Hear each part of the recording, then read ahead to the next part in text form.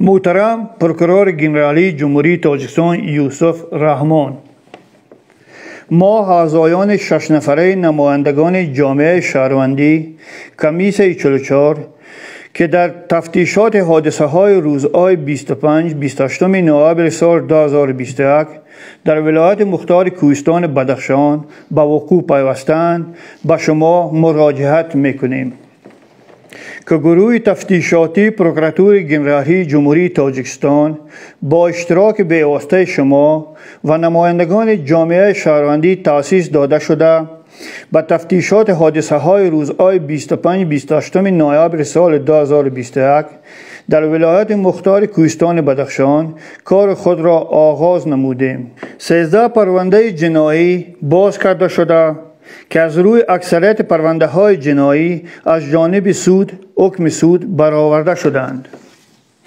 ما نمایندگان جامعه شهروندی از وضع تفتیشات رخداده کشتار زیابکوف گلبدین و زخم برداشتن میرزای فرازق غلامشاه تیغونشاه از عراق آتشفشان ساختارهای قدرتی در دهه تفدیم من ناحیه راشقله ولایت مختار کوهستان بدخشان سخت نگران هستیم.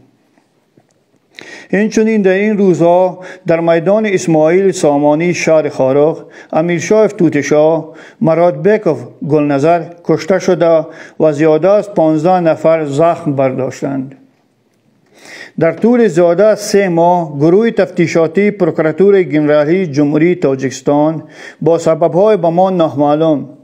یگان عمل تفتیشاتی وابسته به این قضیه ها انجام نداده, نداده است.